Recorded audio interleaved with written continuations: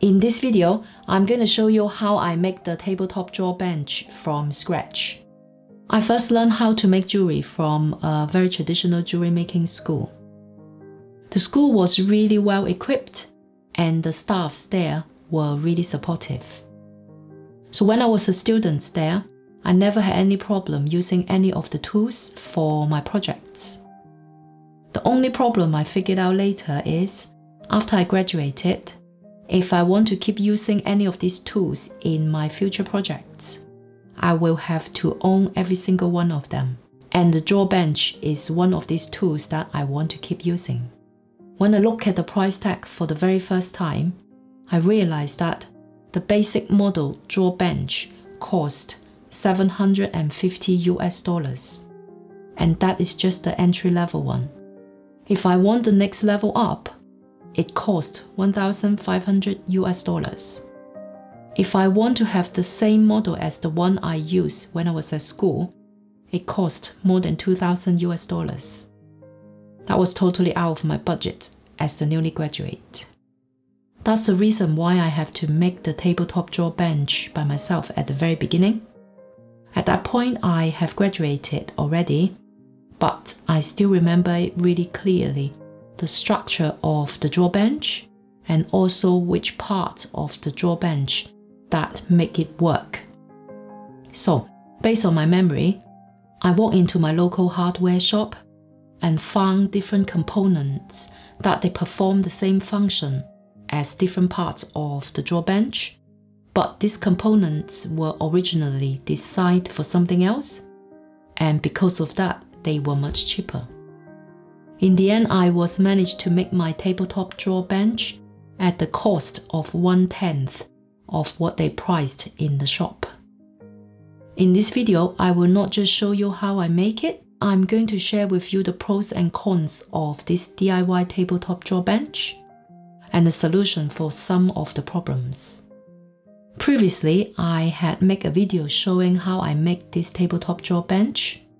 In that video, I didn't explain anything. So in this one, I'm going to walk you through the entire process. But if you prefer the non-narrated version, the link is in the description below. Let's get started.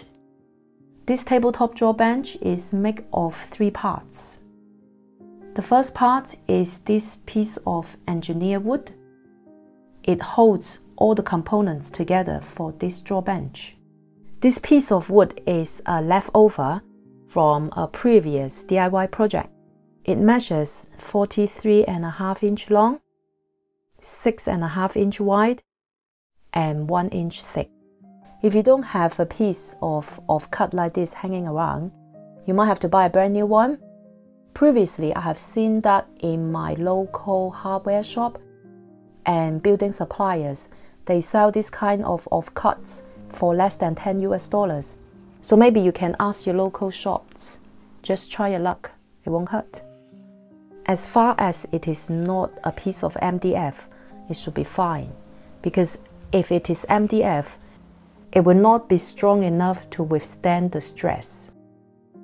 I think solid wood would be fine as well, but it could be quite expensive.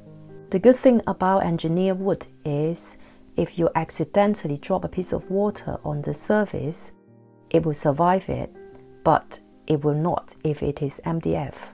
Let alone the structure of MDF is much weaker than engineered wood or solid wood.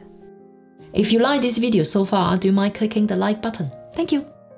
Once we got the base of this tabletop draw bench sorted, the second part of this draw bench is made of a heavy-duty boat winch.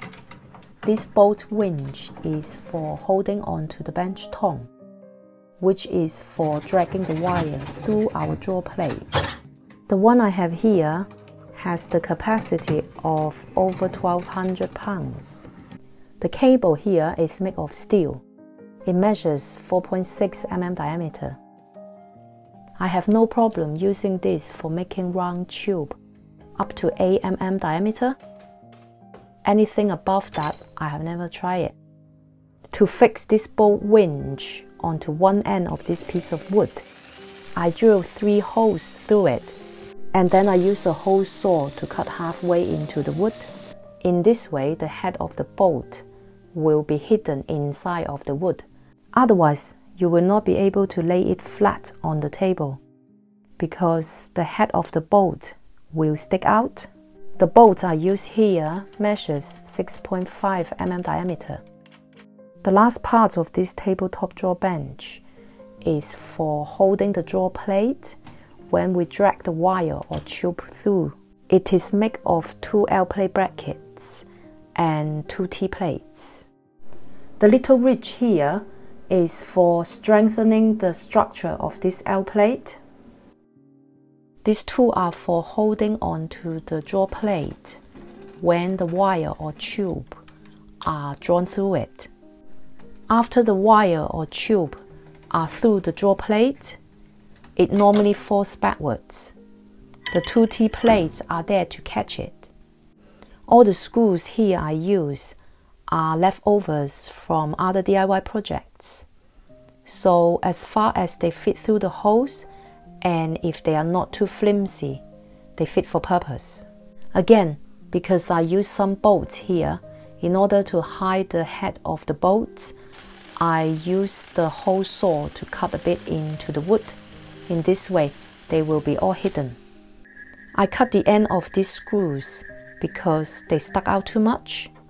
And after they were cut, they were too sharp, so I used some rubber cups to cover it, just for safety reasons. You can get all these components online. I have them listed in the description below if you want to have a look. So that's how this tabletop draw bench was first made. I have been using it for over 10 years now, and there's no problem about it. There are two good things about this tabletop draw bench. First, obviously, it costs much less.